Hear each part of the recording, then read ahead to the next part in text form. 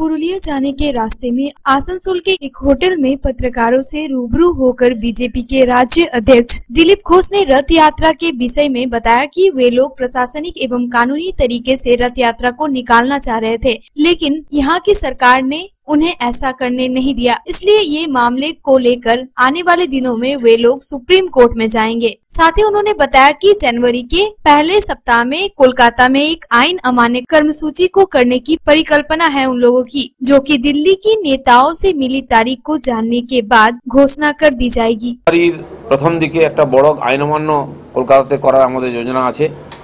এবং সম্ভবত জানুয়ারির শেষে বা ফেব্রুয়ারির প্রথমেতে ব্রিগেড কার্যক্রম করার একটা যোজনা চলছে। দিল্লির নেতাদের কাছ থেকে আমরা ডেট পেলে এটা ঘোষণা করব। বাকি জেলায় জেলায় যেভাবে আইন অমান্য মিছিল মিটিং সভা চলছিল সেটা চলতে থাকবে। সুপ্রিম কোর্টে যাব আমরা সুপ্রিম কোর্টের দিকে তাকিয়ে আছি। যেহেতু আমরা প্রশাসনিকভাবে এবং আইনিভাবে এটা করতে চেয়েছিলাম করতে দেয়নি সরকার আমরা আগামী দিনে সেটা করার জন্য চেষ্টা করব। আজকে যে কর্মসূচি আছে সেখানেও যদি বাধা আসে তো কি করবেন ওখানেও পুলিশ আগের দিন পর্যন্ত দেবে না পারমিশন বলেছে রামপুরহাটেও পুলিশ পারমিশন দেবে না বলেছে তাও আমরা করেছি কারণ আমরা আমাদের গণতান্ত্রিক অধিকার নিয়ে আর আন্দোলন করব মানুষের কাছে যাব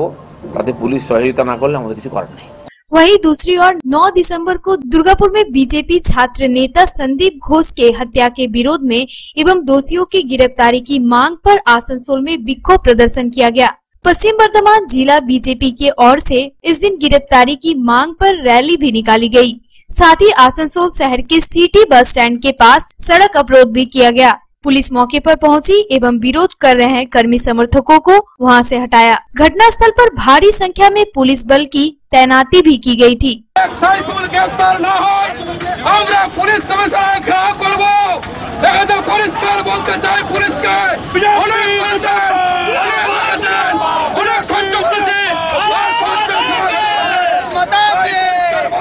पुलिस গ্রেফতার না হয় আমরা পুলিশ কমিশনার ঘেরাও করব এখানে পরিষ্কার বলতে চাই পুলিশকে অনেক করেছেন অনেক করেছেন অনেক সহ্য করেছে আর সহ্য পরিষ্কার বলতে চাই আর সাত দিন টাইম দিলাম সাত দিনের মধ্যে শেখ সাইফুল যদি অ্যারেস্ট না হয় কে বিজেপি অ্যারেস্ট করা হয়েছে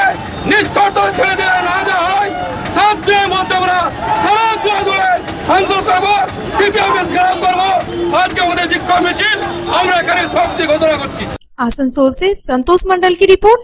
पब्लिक टाइम्स